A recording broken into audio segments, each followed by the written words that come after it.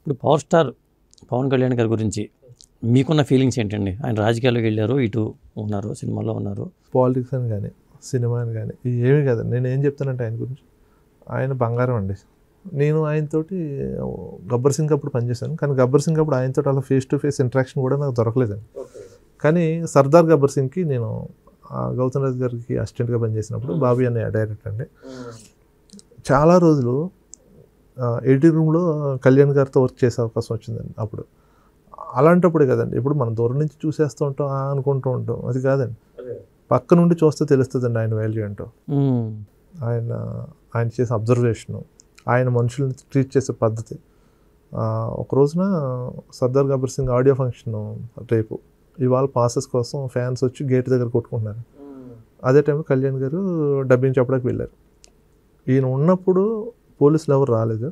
ఈయన డబ్బింగ్కి వెళ్ళిపోయిన తర్వాత కూడా ఫ్యాన్స్ వచ్చి హడావుడి చేస్తుంటే పోలీసులు వచ్చి అక్కడ వాళ్ళని కొంచెం కొట్టారనమాట కళ్యాణ్ గారు డబ్బింగ్ చెప్పేసి ట్వెల్వ్ థర్టీకి వన్కి వచ్చారండి నైట్ వస్తే ఏది జనం ఉండాలి వెళ్ళిపోయారా పాసులు ఇచ్చి పంపించారంట. "ఆ, లేదని పోలీసులు వచ్చారు. ఏ కొట్టారేంటి? అంటే "ఆ, ఇద్దరికి పడ్డాయండి "ఏ, ఏంటి పాపం వాళ్ళు ఏదో ఫంక్షన్ కోసం వస్తే ఏంటి మీరు అని ఫీల్ అయిపోయాడండి మళ్ళీ మనిషి అవడానికి ఒక టూ త్రీ అవర్స్ పట్టింది ఆయనకి. అస్సలు పాపం. ముందు "ఆ, ఉన్నారా వెళ్ళిపోయారా చూడండి అన్నాడు. ఉన్నారు సార్. వాళ్ళు పిలిచి పర్సనల్గా "ఇదిగో నేను ఇస్తున్నాను. ఈ పాసెస్ వాళ్ళకి ఇచ్చి పంపించండి. ఉండొద్దు వెళ్ళిపోమని చెప్పండి. ఆయన అంతా నలిగిపోయడం మేము చూసాం. యా, నాకు అంటే ఆ, పర్సనల్గా మేము చూసాం కదండి. దానివల్ల ఇంకా ఇష్టం పెరుగుతూ ఉంటుంది ఆయన మీద. ఆయనతో ట్రావెలింగ్లో అది. కానీ రాజకీయాల్లోకి అటు వెళ్ళటం వల్ల సినిమాల పరంగా మనం నష్టపోతున్నాం అనే భావన కలుగుతుంది. అభిమానులకు కూడా కొంత.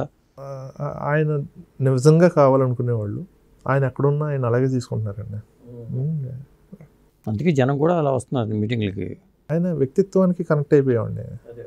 అప్పుడు ఆయన సినిమాల్లో చూసినా అలాగే చూస్తాం బయట చూసినా అలాగే చూస్తాం. ఆయన ఎక్కడున్న హీరోనే.